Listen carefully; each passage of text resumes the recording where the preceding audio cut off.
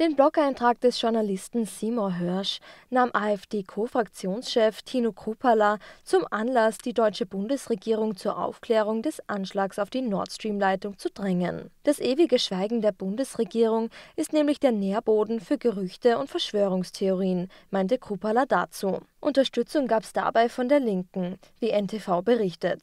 Die anderen Parteien verwiesen auf die Zuständigkeit der Bundesanwaltschaft, die momentan ermittelt.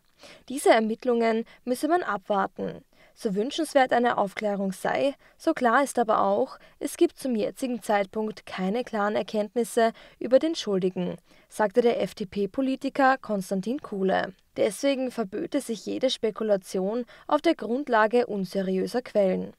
Sie radikalisieren sich immer weiter als Moskaus Agent hier bei uns in Deutschland, rief er der AfD zu.